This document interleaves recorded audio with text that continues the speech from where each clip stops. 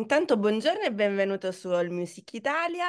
Ehm, iniziamo subito parlando della- del tuo ultimo singolo dal titolo normale che vanta questa produzione di Motta e quindi vogliamo sapere com'è nata la vostra collaborazione e, insomma v- vogliamo un po' il racconto di come è successo, se è successo prima di X Factor o dopo X Factor, insomma raccontaci. Allora, eh, io e Francesco ci siamo conosciuti eh, a una festa prima di X Factor. Vabbè, è una storia lunga, faccio tipo, La riassumo sintesi. brevemente perché è divertente. Che praticamente ero andato a un evento a cui mi avevano invitato eh, al centro di Roma e questo evento era finito a un certo punto tipo alle 9 di sera, però ero, ero un po' alticcio, avevo bevuto e non volevo tornare a casa alle 9 di sera, quindi ero con una mia amica, gli ho detto vabbè andiamo in giro, vediamo che c'è e vicino a questo evento c'era un altro evento, però era tutto barricato, pieno di, di guardie, insomma per, per, per controllare chi entrava, chi usciva. E io vado là, gli faccio, senti, io ho sto braccialetto che però era dell'altro evento, mi sono imbucato, mi hanno fatto entrare ed era un evento assurdo, c'era un botto di gente e ho visto Motta. Allora gli faccio il fan praticamente, cioè vado là e gli, dico, io sono un tuo fan, faccio anch'io il musicista, così. Poi ho la fortuna che conoscevamo un amico in comune che, che fa troppo ridere, allora gliel'ho detto subito perché, insomma, sono paraculo. Allora vado là e gli dico, senti, abbiamo questo amico in comune, lui mi prende subito in simpatia e, e niente, praticamente che succede? Che, che mi dice, "Va- mandami le cose, io non, non credo mai a queste cose perché dico, vabbè, figurati se se le sente. Poi il giorno dopo mi ricordo ci siamo sentiti su Instagram, tipo che ci siamo seguiti, cioè che lui mi ha riseguito, io già lo seguivo ovviamente, e, mh, e mi dice, vabbè, mandami le cose, allora ho detto, vabbè, eh, evidentemente gli interessa. Questa cosa tra l'altro era successa la stessa cosa con la mia etichetta anni fa, che mi, dice- mi disse mandami le cose, non gli avevo creduto, mi aveva riscritto mandami le cose, quindi evidentemente ogni tanto nella mia vita ritorna questa cosa. E, e niente, quindi gliel'ho mandate, non ci siamo più sentiti, sono uscito da X Factor, lui mi ha detto sono contento che ti hanno eliminato. No, nel senso che, che comunque ha detto così possiamo metterci subito in studio. Ho detto che cazzo fig- fighissimo, quando vuoi. E, e niente, quindi poi siamo messi in studio, avevo già scritto normale, lui l'ha l'ha ascoltata, gli è piaciuta e, e niente, ci siamo, ci siamo trovati subito. Bene, un bellissimo racconto comunque. Eh, quindi, eh, approfondendo il concetto di normalità, è interessante notare che tu ti chiami alieno, quindi altro rispetto ad un luogo, e parli di normalità. Quindi, cos'è per te la normalità e cosa ti fa sentire normale? È difficile, difficile eh, dirlo, perché non è che mi ci sento molto, però, però ecco, come- nella canzone, come dico, ma io credo che nessuno si sente normale, io ho questa teoria, nessuno si sente normale,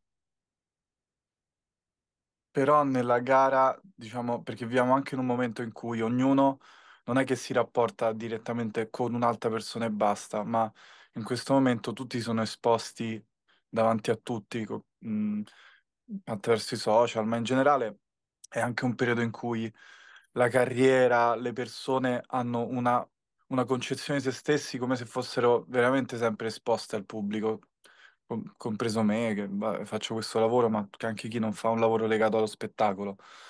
E quindi, secondo me, nel rapportarsi col mondo esterno così liberamente, tipo nel mare aperto, uno spesso dentro di sé magari non si sente normale, cioè si sente in difetto rispetto alla gara continua, no, che che c'è con gli altri ma comunque mette la maschera di, di- di magari chi dice, vabbè, io sono, sono così, sono come tutti, o magari quando uno scrolla, no, su- sui social vede una persona che può sembrare, cioè la normalità può sembrare una vita che, che non corrisponde totalmente alla realtà, ecco.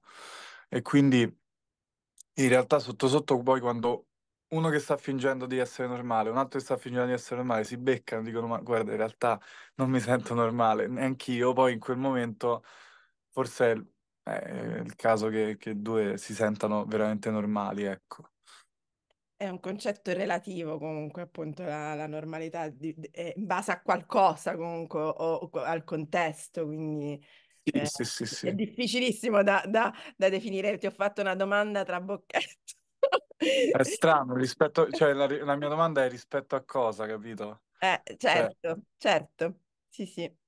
cioè, Ehm, invece, tornando al tuo, al tuo percorso da, da musicista, prima di entrare ad X Factor, tu avevi un percorso delineato e definito, avevi anche due album alle spalle. Quindi, che cosa ha rappresentato per te quel talent e se hai dovuto fare dei compromessi con te stesso e la tua visione della musica? Allora, eh, mh, compromessi no, nel senso che, che comunque mh, alla fine non è, ve- secondo me non è vera la, la storia che uno racconta spesso che ti prendono e cercano di manipolarti, oppure eh, anche legato al mercato discografico che, che la discografia ti prende e cerca di creare su un mostro, su di te tipo Frankenstein. Non è vero. Purtroppo, cioè, purtroppo non è vero perché ormai la discografia non gliene frega più niente, mm, mettono i soldi quando un progetto già sta andando e non fanno niente. Ormai case, cioè, la cosa non è, il problema non è che eh, creano dei mostri. Sarebbe pure figo perché a quel punto dici, vabbè, sono dei creativi.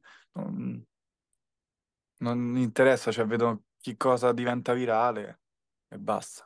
Quindi, è stessa cosa vale, nel senso, ovviamente non in questo modo negativo, vale nel, nel momento in cui eh, ti scrivi un programma televisivo, quello che succede è quello che fai tu e come lo fai, quelle pre- le scelte che, che prendi insieme magari al tuo giudice, poi fanno il tuo percorso, nessuno decide per te, ecco. Quindi eh, mi- è stata un'esperienza importante, sicuramente il fatto di cantare canzoni di altri era un limite perché non, non- sicuramente non c'ho la voce per farlo e poi scrivo canzoni in realtà nella vita, quindi eh, era un, un limite che però mi è servito per innanzitutto conoscere a fondo sia me, sia me stesso che le canzoni che stavo cantando che non erano mie. E sono, è stato un modo per, per conoscermi sicuramente e anche per, per conoscere anche il mio modo di scrivere paradossalmente, perché comunque non potendo eh, cantare quello che scrivevo e non c'era neanche tantissimo tempo per scrivere proprio lì dentro, perché comunque eravamo molto impegnati. Eh, c'è una voglia assurda, infatti appena sono uscito ho scritto un sacco e niente, Quindi è questo. servito anche a, a- a- a spronarti a, a Sì, continuare sì, sì. sempre di più il tuo percorso. E rispetto per esempio alle cover che hai fatto là dentro, ce n'è qualcuna a cui sei più affezionato, che hai prodotto e ti, e ti è piaciuto più cantare eh, all'interno di X Factor? Allora, guarda, mh, paradossalmente l'ultima, cioè mh, costruire, mh, tantissimo, quella con cui sono stato eliminato, ma perché allora ti, qua pure ti faccio un racconto breve. È stata un, non so perché c'era stato un momento in cui io sentivo che sarei potuto uscire dal programma, non so come dire. Cioè, sentivo un- Forse, cioè, forse il fatto è che alla fine eravamo rimasti tutti bravissimi, quindi poteva uscire chiunque, no? Non so come dire, cioè, eh. E quindi c'avevo pure questo brano che oltretutto mi ricordo che Morgan la, la settimana prima aveva sottolineato che, avevo- che ero stonato, completamente stonato, avevo dei problemi gravissimi di intonazione. Ma eh, ci sta, c'è c'è gente che ha problemi più gravi, ecco. E, e comunque, insomma, eh, un po' mi, aveva- mi- era dispiaciuto, no? Perché dico, oddio, sembrava un medico che ti ha di- diagnosticato una malattia mortale, sto natura.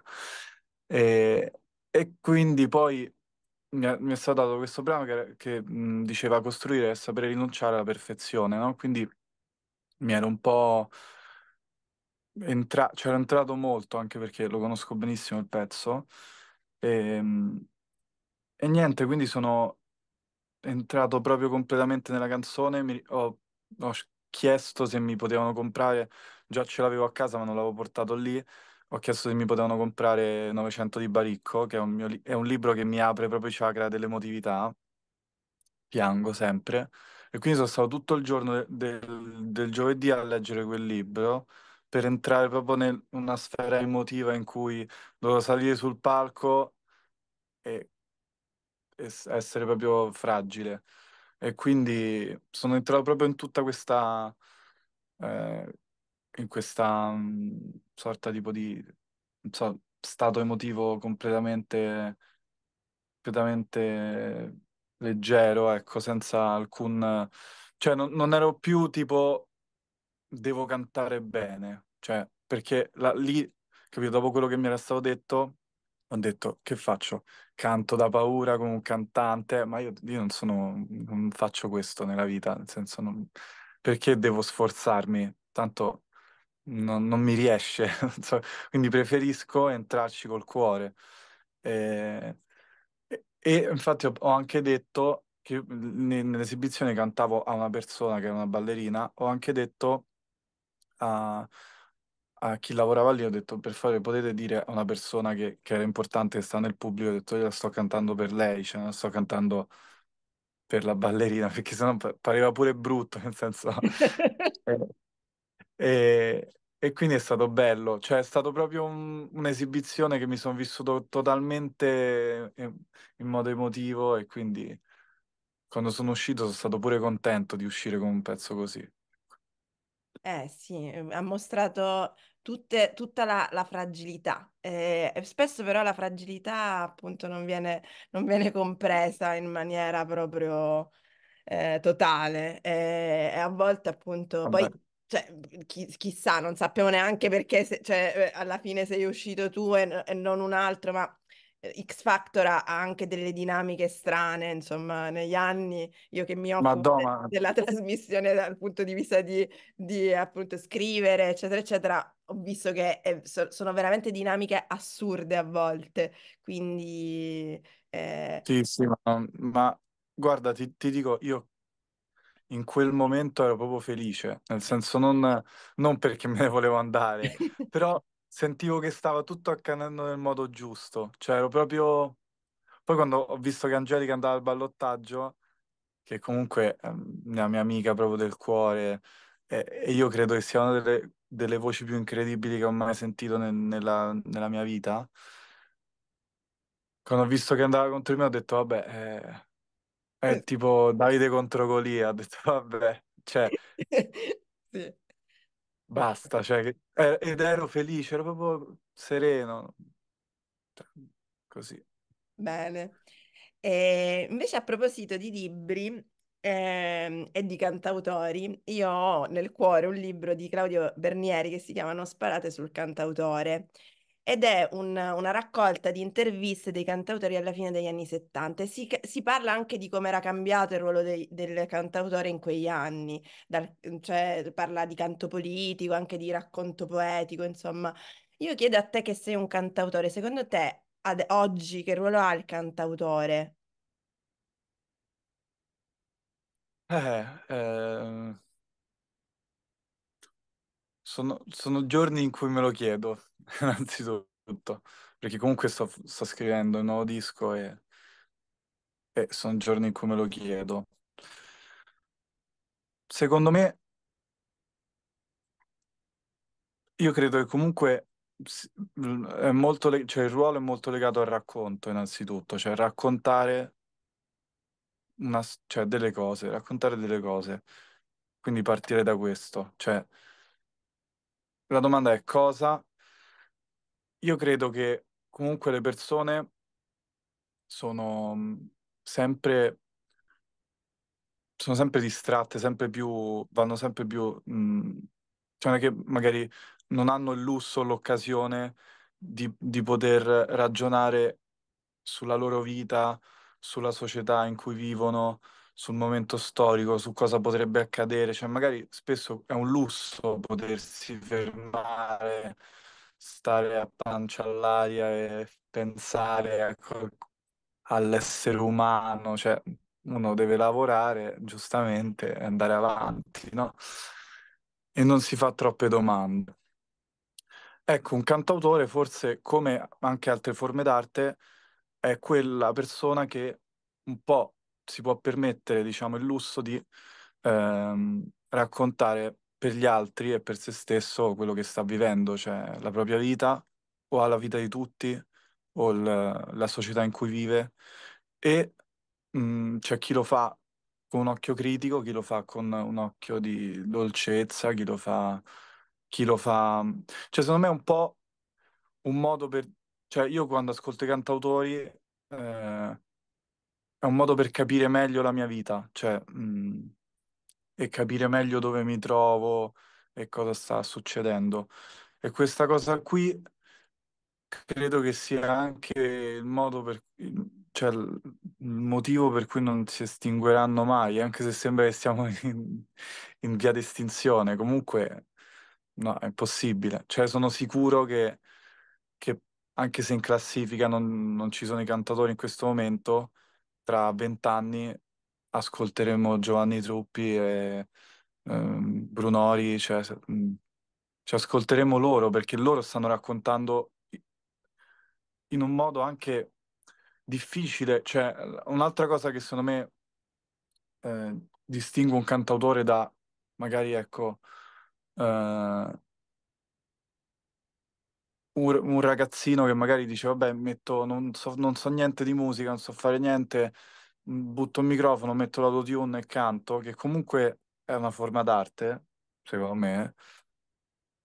C'è un, una- un livello diverso di, di ricerca e di spessore, nel senso che un- magari a volte non vale per tutti i cantautori, però mh, Giovanni Truppi è proprio difficile, cioè nel senso, non so come dire, per scrivere come scrive lui, lo devi, cioè, devi essere lui e lo devi saper fare, cioè ce n'è solo uno, non so come dire, non è facile, non è che dici, vabbè, dai, c'è un amico mio che fa musica, andiamo in studio, cioè è complicato, quindi quella cosa lì è anche un valore che, che adesso si è, si è un po' perso riconoscere questo valore, secondo me, cioè dire...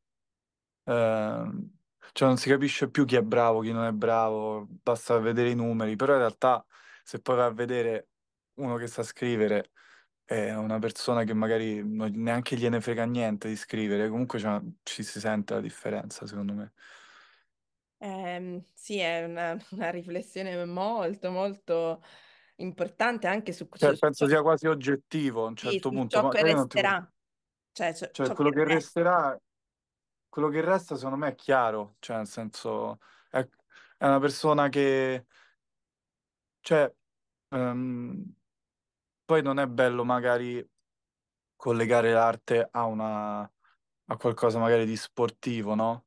Però se ascolti un bel disco scritto bene, è come vedere Bolt che corre e fa 100 metri, cioè nel senso non ce ne stanno tanti, non sono, cioè oggettivamente, mo la- l'arte non è oggettiva, però in realtà se ci pensi c'è una differenza se ascolti un- uno che magari ha fatto 10 milioni di streaming, eh, però si sente che, che- per- che c'è, che lo potresti fare tu, lo potrei fare io domani, e, e uno che invece dici, cazzo, eh, scrive una cosa così, come ci è arrivato? Cioè, è quella cosa lì, mh, è oggettiva, cioè non è che, cioè, si sente, quindi secondo me quello rimarrà. E a proposito di scrittura, eh, quanto si intreccia la tua storia personale con quello che scrivi?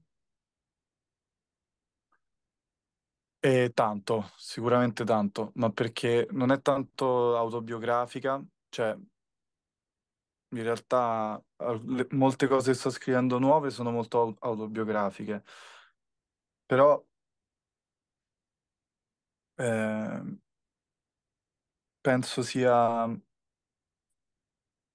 più il fatto del mio sguardo in realtà, cioè credo che comunque ci sia sempre una mia, un mio punto di vista sulle cose, anche se non riguardano me direttamente, cioè magari parlo di altro, però sempre con un mio punto di vista, ecco. E invece rispetto, eh, hai detto che stai scrivendo eh, un disco, quindi rispetto ai prossimi progetti futuri c'è sicuramente questo disco, ma ci puoi dare qualche anticipazione? Eh, guarda, lo sto, lo, lo- lo sto facendo adesso, cioè questo è il mio studio, e è un disco, cioè non lo so in realtà, sono ancora in fase di, di scrittura, nel senso che ho un po' di canzoni, però mm, mi voglio un attimo prendere del tempo perché v- mi piacerebbe fare un disco mm, coerente che abbia una un'anima eh, unica, perché comunque è stato bello sperimentare per questi due album che però indubbiamente sono anche molto variegati dentro, cioè mh, eh, mi piacerebbe invece fare qualcosa di più,